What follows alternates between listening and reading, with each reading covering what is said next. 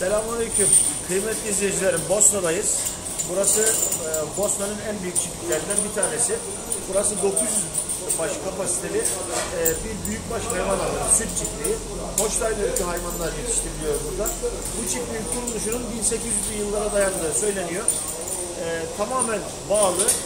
E, hayvanların bireysel olarak bağlı olarak bulunduğu bir sistem.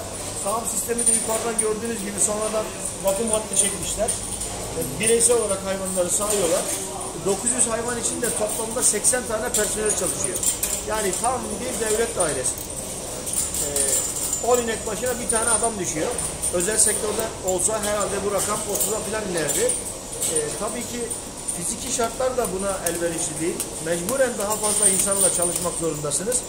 Ama 80 tane adamın çalıştığını duyunca da e, şaşırmamak elde değil. Bütün hayvanlar tek tek sağlıyor. Bayanlar sağım yapıyorlar. Buradan başlıyor sona kadar bütün hayvanların memesini temizliyor. Başlığı takıyor, sağıyor. Ön son daldırmaları yapıyor ve hayvan yatıyor. Tek e, güzel olan şey var. Hayvanların altında talaş var. Ne kadar hayvanların altında talaş olsa da şu şekilde de kupitis yarasından kurtulamıyor hayvanlar. Çünkü esneyen esneyen yataklara ihtiyacı var bu işletmenin. Ee, biz böyle bir ziyaret amaçlı geldik ama böyle sıra dışı bir e, görüntüyle karşılaşınca da sizlerle paylaşmak istedik. E, ortalamaları 23-24 litre. Hayvanların genetik potansiyeli çok iyi. Yavruları gördük. Kullanılan spermalar çok iyi. Fakat devlet işletmesi olduğu için biraz hantal ve ağır kalmış.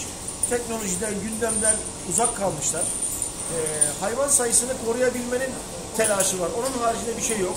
Ama e, 100 yıllık bir geçmişe sahip olmasına rağmen e, hayvan yani 100 yıl önce yapılmış olmasına rağmen ben standartların o yüzyıla göre çok üst sınırda olduğunu görebiliyorum. Gübre yönetimi olsun, hayvanların yemlerinin dağıtılması olsun tümüyle elle yapılıyor. Yani bir otomatik sağımhane bile yok işletmede. E, günde 10 ton civarında süt üretiyorlar. E, buzağlarını 4 aylık, 3 aylık olduklarında satıyorlar. E, günlük 9 litre süt içiriyorlar hayvanlara. Düşünün yani tam bir devlet işletmesi. Devlet işletmesi dediğim böyle olur. Demek ki sadece Türkiye'de değil, dünyanın her yerinde devlet işletmeleri böyle oluyor demek ki. E, biz de bunu böyle müsaade etmiş olduk. Ama ahır yüksekliği olarak tepedeki fener uygulaması, tepedeki aydınlatma olarak 100 yıl önce yapılmış bir ahır olmasına rağmen e, bazı konfor standartlarını taşıdığını söyleyebilirim arkadaşlar. Ee, özellikle hayvanların altına günübirlik talaş atılıyor olması, günübirlik temizleniyor olması da ayrıca bir e, ayrıcalık. Ee, inşallah e, Bosna'ya çok güzel bir çiftlik yapacağız. Örnek bir çiftlik yapacağız. Ee, bu da bizim için Avrupa'da yaptığımız bir eser olacak. Görüşmeler yapıyoruz.